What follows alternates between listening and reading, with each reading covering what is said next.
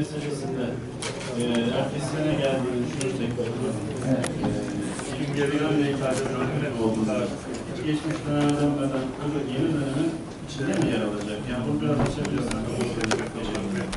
Ee, bahsettiğim gibi ee, örneğin örnek örnekle devam edelim isterseniz. 2017 yılına ilişkin indirimli oran tabi işlemlerin yapıldığı ee, yıl için ee, yıllık izleyen yıl içerisinde bir iade talebi söz konusu olduğunda bununla ilgili iade talebinden ee, iade talebinden önce bir fatura geldiyse ama 2017 yılına ilişkin işlemlerle ilgili bir fatura geldiyse e, diyelim talep Mart ayında yıllıktan yapıldı. Şubat ayında gelen bir fatura var. Şubat ayında indirimler alındı. Bunun yüklenime alınıp iadesi talep edilebilir. Ama iade talebi Ocak ayında yapıldı ve iade gerçekleşti. Nisan ayında 2017 yılına ilişkin bir fatura geldi. Bu artık geriye dönüp dönülmeden e, o yıl indirim hesaplarına alındığında ve indirimli oran tabi işlerin bir süreklilik arz ettiği varsayıldığında 2018 yılına ilişkin iade taleplerinde yük alınarak iadesi talep edilebilecek. Yani GDR'sinin de yaklaşımı bu, bu yönde e, görüştüğümüz gibi ama yine de tebliğ şeyini beklemek gerekebilir yani nihai bir şey için. Şu an ön bilgi olarak e, bizim de anladığımız tebliğler bu şekilde.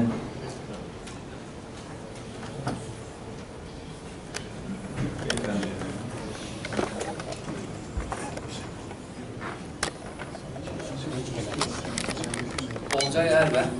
E, aynı konuyla ilgili bir şey sormak istiyorum.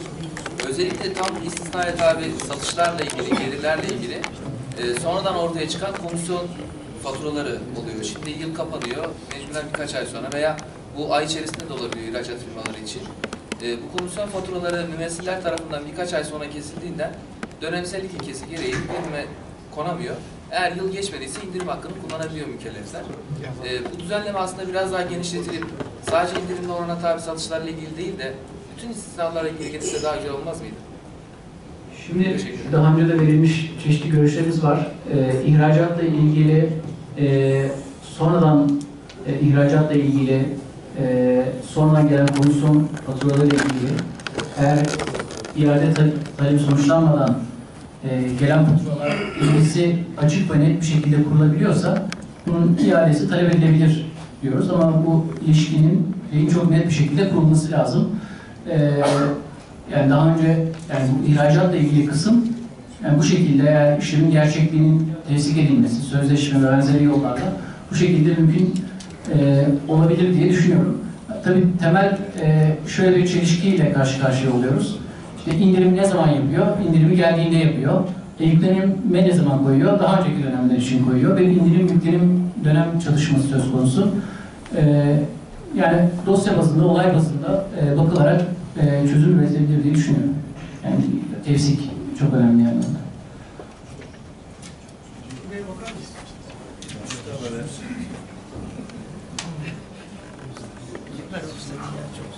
Tamam. Yine bir şey çıkartırız. Yahya Kızılgök. Ee, bu bazı mükelleflerin bazı vergi kanunlarından yararlanmak için şartlar var. Bu şartların içinde hepsini yerine getiren fakat e, dönemsel vergi mükellefiyetleri zamanında yerine getirilmesi şart. Bu aylarca süren beyannamelerin bir tanesinde bir gecikme, iki tanesinde bir şey olması ödemesinde gecikme. Bu büyük bir problem yaratacak. En önemli madde de o. Vergisel ödevlerini zamanında yerine getirmek. Herhangi bir şekilde hele eski bütün şartları yerine getiren mükelleflerde nasıl bir e, avant şey verilebilir bunlara? Yoksa bir tane muhakkak olur. Ödemesini geciktirebilir. Vergisel ödevlerini zamanında yerine getirmenin e, çok e, kesin bir ifade gibi geliyor bana. Bunu bazı düşünmesi gerekir diye düşünüyorum. Ben genel yazı sorulardan Bunu temenni olarak algılıyoruz. Değil mi üstadım? Evet. Çok doğru. Sağ olun. Çocuklar her şeyi yapar. Evet.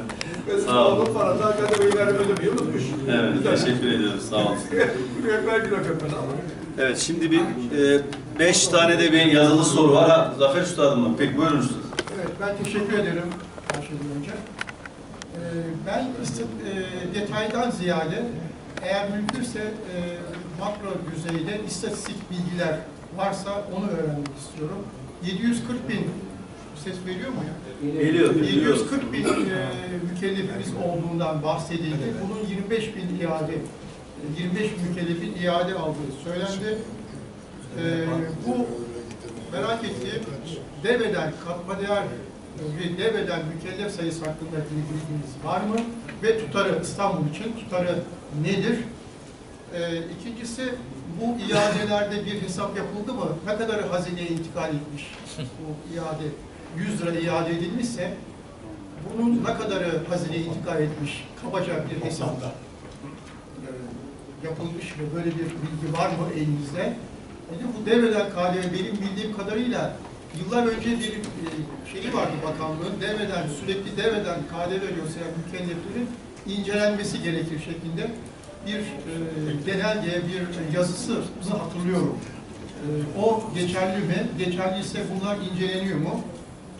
Bir de son olarak hasılat esaslı KDV uygulamasının demin dediniz ya katma değer vergisinin en önemli müessesesinden biri de indirim mekanizmasıdır. Bu mekanizmayla ne derece örtüşüyor? Onu öğrenmek istiyorum. Tekrar teşekkür ediyorum.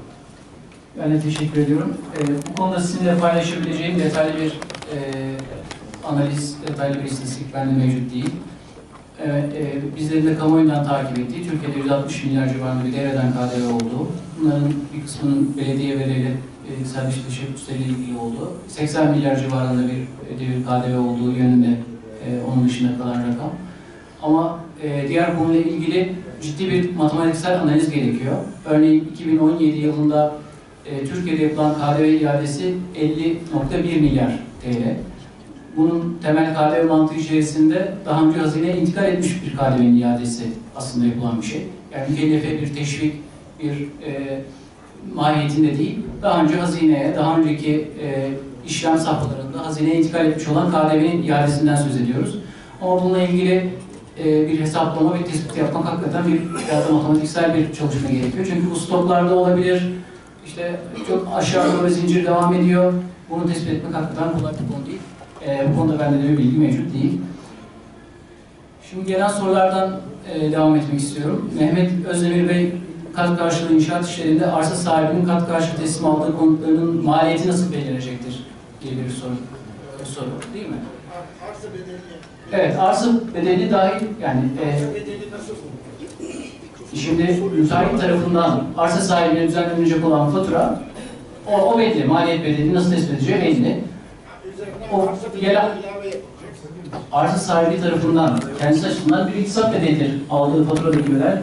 Ayrıca kendisi bunun ticaretini yapıyorsa ondan söz ediyorsun değil mi? Evet. Kendisi diyelim 5 tane evet alacak arsa sahibi 5 tane kendisine konut geldi. Daha sonra bunları satacak. Burada bir ticari kazanç söz konusu. Buradaki maliyet nasıl tespit edilecek? Ee, yani kendi payına kalan e, arsasının maliyetini e, yani orada bir, onun artık bir e, maliyeti tespit edilebilir. Evlat vergisi değerinden diye düşünüyorum. Yani maliyet dediği çünkü o üst yapı, müteahhitin düzenlediği fatura arsa sahibinin arsasının üzerine yapılan bir üst yapının maliyeti. Bir de arsanın maliyeti söz konusu. Kendisine daha önce gelmiş olan. Arsa sahibi üzerindeki arsa 50 senelik üzerinde Gelen arsa. veya? Yoksa Şu anda mevzuatta böyle bir şey hatırlamıyorum ama e, bir şey izafe edilebilir. Yani o konuda bilmiyorum. Hani bir şey beklemek lazım. E, şu anda söyleyebileceklerim.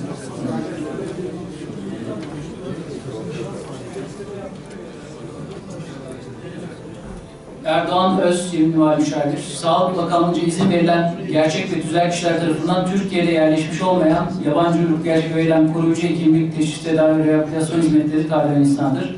Çifte vatandaşlar ile vatansızlar bu isnadan yararlanabilecek mi? Ee, burada yine sunumun başında bahsettiğim e, yabancılara konut satışında da e, olan düzenlemenin paralel olarak bunda da e, uygulanabileceği e, yani Türk vatandaşları eğer aynı zamanda yurt dışında da vatandaş iseler, çifte vatandaş iseler onların da tebliğde verilecek husus esaslar kapsamında yararlanabileceğini e, tahmin ediyorum ama bir düzenleme çıkmasını da beklemeye ihtiyacımız var.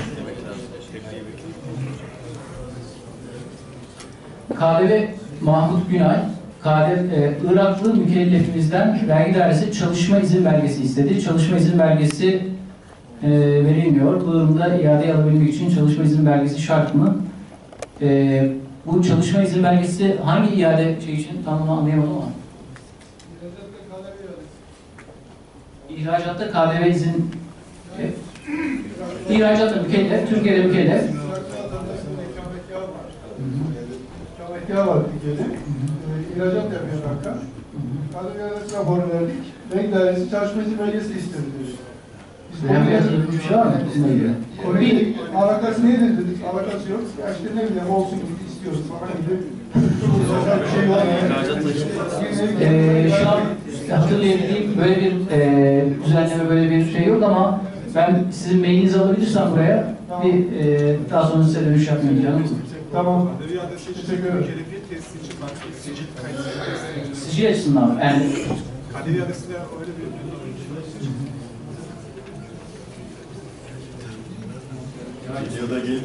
Mustafa Yılmaz, KDV ikinci el araç alım satımında mükellef olmayanlardan alınan araçların alım bedeli düşük kalan kar üzerinden yüzde bir KDV alınacağı parantez içinde vergi mükelleflerinden alınan istisna kapsamında alımlarda aynı işlemin uygulanacağı belirtiliyor. Kiralama şirketlerinden yüzde on sekiz KDV alınan araçların araçlar gider mi? Şimdi kira- dahil olur.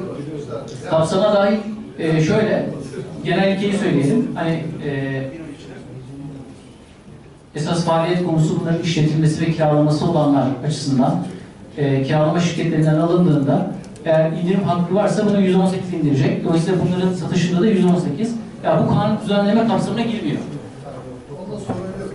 Benim söylemek istediğim şu. İkinci el araç Mikrofonu ver. Şey. İkinci el araç satışı yapılıyor. Direkt aracı alım satım yapıyor. Evet.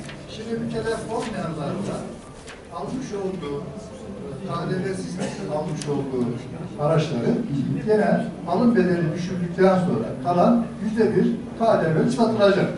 Peki yüzde on sekiz KDV tabi olan kiralama şirketinden almış olduğumuz aracı, binek aracını KDV'sini indirim konusu yapamayacağımıza göre yine bunda da alış bedelini tenzil edip kalanı üzerinden yüzde bir vergi ödeyeceğiz.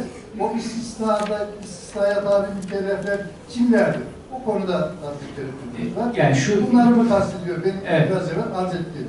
İkinci el Kiralama şirketleri... İkinci araç alım satımıyla uğraşan bir mükellef. Ee, bu araç kiralama şirketlerinden ikinci el bir araç alıyor. %18 KDV'si var. Bu %18 KDV indirim konusu yapılmıyor. Şu anki mevcut düzenlemeye göre. indirim konusu yapılmadığı için e, Maliyet ya da giderlere... maliyet ya da gider konusu yapacak. Bunu sattığında da e, tam orayı anlayamadım. Sattığında da Yüzde bir KDV'ye tabi olacak araç araç. Hı hı. evet. Burada e, alış bedelini gene aynı şekilde düşecek miyiz? Yani hani mükellef olmayanlardan aldığımızın Ama bunlar mükellef olanlardan hani aldığı için kapsama girmeyeceğini düşünüyorum yani. yani Yani Orada- sadece özel belirleme yapılmış yani, yani mükellef olmayanlardan alımlarla ilgili. Yalnız orada parantez içinde demiş ki e, vergi mükelleflerinden alınan istisna kapsamında olan mükellefler dahil demiş. Yani parantez içindeki bir hüküm var. Yani mükellef olduğuna göre yani mükelleflerden, KDV mükelleflerinden de almış olduğumuz binek araçları için aynı e, sistemi uygulayacağız anlamında doğuyor. istisna kapsamında yaşıyoruz. Ama işte istisna kapsamında olanlar değil mi? Evet, evet. Bu istisna kapsamına girme, girmediği için e, dahil olmayacağını düşünüyorum verdiğiniz örnekte. Yasaya baktığımız zaman parantez içinde e, mükellef olan KDV mükelleflerinden de alınan istisna kapsamına girer. Burada istisna dedik istisna bir defa ikinci el, e, binek araçlarının alımı ödenen KDV indirim konusu yapılmaz.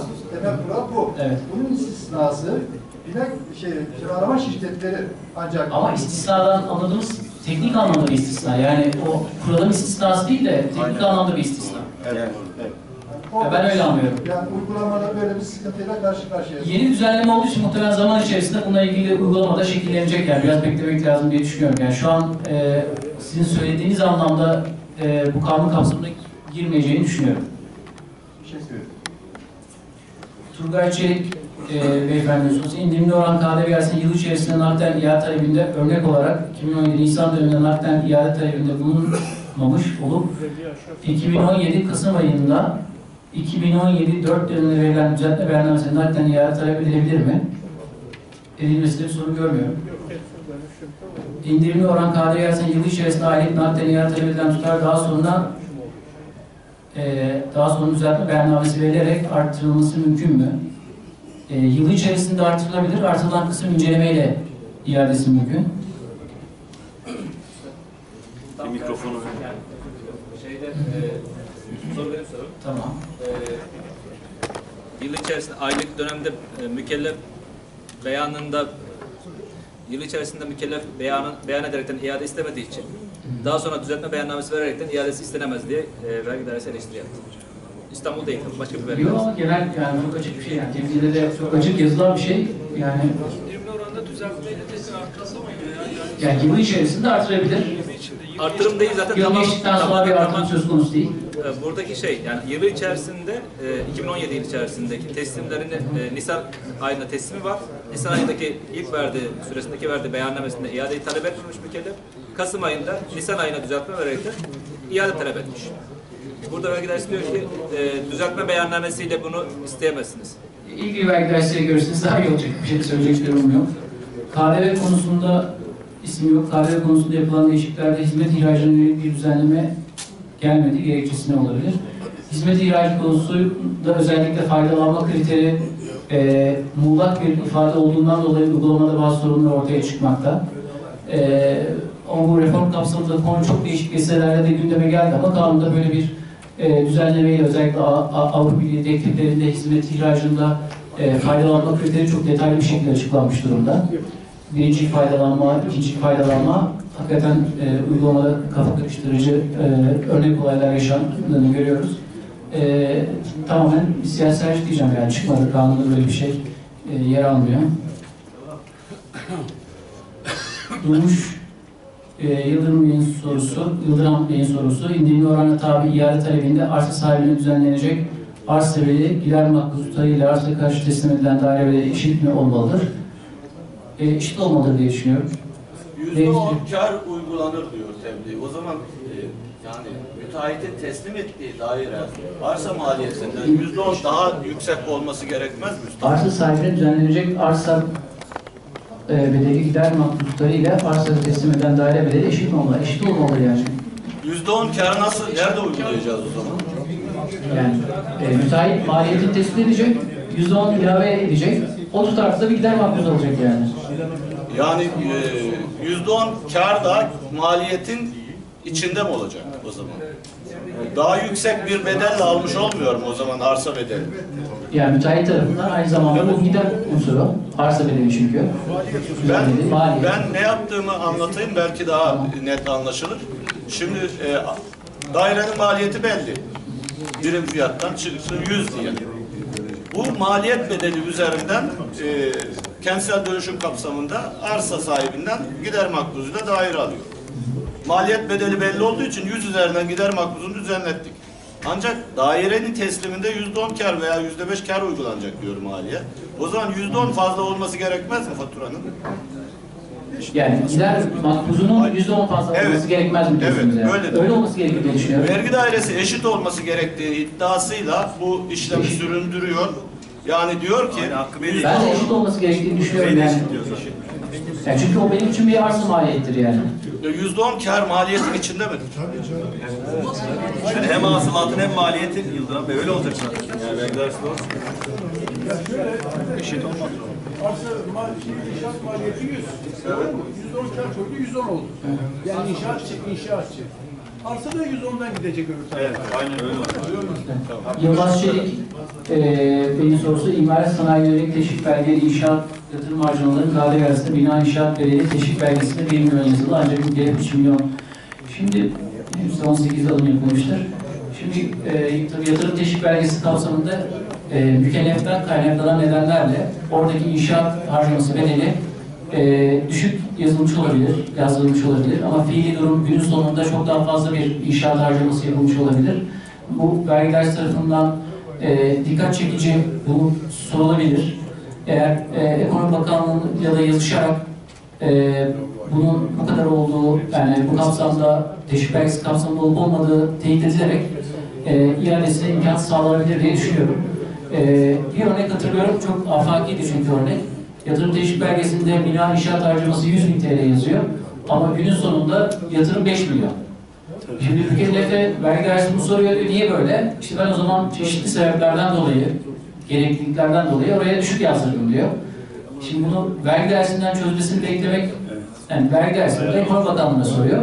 Sorun şöyle devam ediyor. Ekonomi Bakanlığı'na yazmış, vergi dairesi Ekonomi Bakanlığı diyor ki ben diyor yatırım bittiğinde gidip bakacağım, o zaman sana cevap verebilirim. E, mükellef bir önce iadesine kavuşmak istiyor. Yani böyle bir e, silsile devam ediyor. E, yani yine de biz şeyi görmemiz lazım. Yani çünkü teşvik belgesi kapsamındaki tutarsalar yani işte yani Ekonomi Bakanlığı'nın tebliğlerinde %50'ye kadar bir şey var. Onun üzerinde bir şey olduğu zaman bir teyit almamız gerekiyor Ekonomi Bakanlığı. Teşvik belgesinin altaki alacaklar mevzusu var. Evet. E, uygulamada karşımıza çıktığı için bunu başvurarak atıyorum 1 milyon olan rakamı biz 3 milyona çıkarttık Tamam. 6 milyona belki de 10 milyon Tamam. olacak. Ekonomi Bakanlığı bunu değiştiriyor ve diyor ki ilk verilen teşvik belgesinde kaim olmak üzere diyor. Tamam. Bu bizim için yeterli olur. O zaman iadede bir sıkıntı Tabii olmaz. Bizim için yeterli olur. Ekonomi Bakanlığı bunu söylüyorsa biz de buna itibar ederiz. Geç gelen faturaların KDV indirimiyle ilgili e, denilmiş. İşim Ertuğrul hanımefendi. Gerçekten internet indiriminden ben masrafın oluşanlar devlete nasıl kaydedilecek? E, bu özellikle gelir kurulu açısından dönemsellik açısından herhalde. E, KDV'li çözüm yani bunun, evet, bunlar açısından yani Nisan'dan sonra geldiyse deftere kayıt ve gider yazılması mümkün olmayacak. Ama KDV Kanunu 30. maddesinde yani e, kanuna kurulmayan edilmeyen giderin KDV'sinde indirim konusu yapılacak. Benim kişisel düşüncem e, burada indirim özel düzenleme olduğu için indirim engel hususu olmayacağı yönünde. E, bu kadar sanırım. Bir soru da şeyde var İsmail Hakkı Bey'de. Ona cevap versin. Neyse sesin e, soruda soruyu soran üstadım da isim yazmadığı için ben soruyu tekrarlayayım kısaca. Yabancılara taşınmaz satışında kat ittifakı kurulmamışsa arsa paylı satış katma değer vergisi kanununa göre istisna kapsamında değerlendirilebilir mi diye soru soruyor. Soruya iki gözle cevap vereyim. Birincisi muhasebenin temel kavramları özün önceliği kavramı öz neyse esas olur. Evet, taşınmaz satışıdır. Fakat ve fakat diye devam edeyim. Bizdeki vergi kanunlarının tamamı kural bazlıdır. Yani ilke bazlı değildir. IFRS uygulamasıyla bahsedilemez. Öyleyse istisna kapsamından bahsedilemez. Çünkü bir arsa payı satışı söz konusudur. Ama hemen üstadıma şunu söyleyeyim. Basından izliyorsunuz. imar kanunu çıkacak. İmar kanunuyla beraber varsa yapıyla ilgili usul eksikleri giderileceği için yapı izin belgesi verilecek ve akabinde kat ittifakı ve mahsus kat mülkiyeti kanunu kurulacağı için bu işlem yapılabilir. Şu an itibariyle istisna kapsamında değerlendirilemez. Çünkü taşınmaz satışı değildir. Vergi kanunlarının kural bazlı olması hasebiyle. Teşekkür ederim. Başkanım saygılar sunarım. Ee, bir genç arkadaşımızın sorusunu da alalım. Ondan sonra bir üstadımız Hakkı Bey'e bir öneri sundu. Onu okuyup bitirelim. Buyurun. Mehmet Şahin Sevdik. Ben de Hakkı Sayın Üstad'a bir soru sormak istiyordum.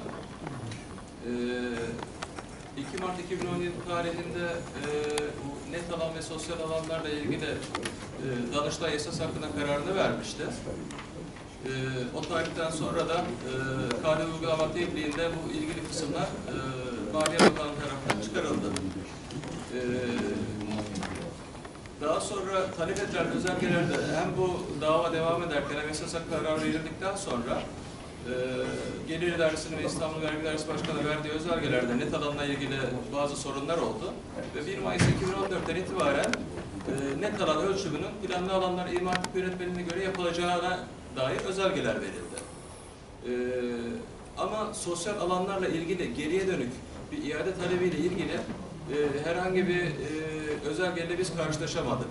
Yani örnek olarak veriyorum, 2015-16 yılında iade dosyası tamamlanmış bir inşaat projesiyle ilgili e, Danıştay'ın esas hakkındaki kararından sonra özellikle sosyal alanlarla ilgili e, iade için bir talepte bulunulduğu durumda acaba e, iade talebi arttırılarak inceleme raporu sonucuna göre mi yerine getirilebilir? Yoksa bu şekilde bir ek rapor sunulması durumunda mükellefe böyle bir iade hakkı tanınabilir mi? Ee, teşekkür ediyorum. Ee, incelemeyle yapılacağını düşünüyorum çünkü daha önce alınmış bir iade söz konusu. Bununla ilgili e, iade tutarı e, arz oluyor. Ama iade isteyip istemeyeceğiyle ilgili de yapılmış dönemlerle ilgili çünkü e, o dönemde geçerli olan mevzuata göre onlar yüklenime dahil edilemeyecek, iade hesabına dahil edilemeyecek e, kalemler tebliğ kapsamında.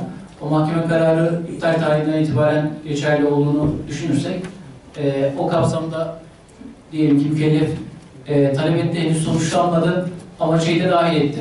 İşte bazı sosyal donatılarla ilgili yüklemleri de dahil etti ve iade rakamını artırdı. O artan, artan rakamın e, iadesinin inceleme sonucuna göre yapılması gerektiğini düşünüyorum. Teşekkür ederim. Şu şey vardı ya. Yani çok mu uzun? O zaman şey yapalım yani. Evet, size dönsün Hakkı Sayan Beyler. Şimdi plaket törenimizden sonra da şeyi kapatacağım. Ee, Sayın e, Hakkı Sayan'a plaketini vermek üzere Yönetim Kurulu Başkan Yardımcımız Mehmet Nadi Apasoğlu'nu kürsüye davet ediyorum.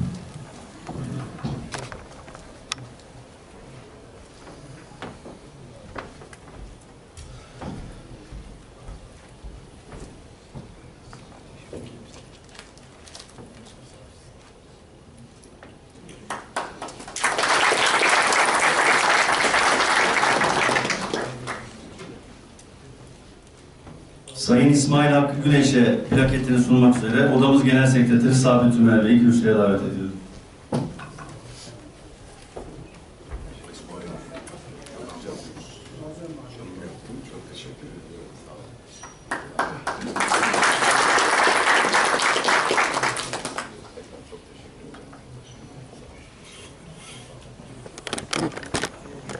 Hasan Erarslan Bey'e plaketini sunmak üzere Futbol Disiplin Kurulu, Kurulu üyesi Sayın Yeşim Ertuğrul'u kürsüye davet ediyorum.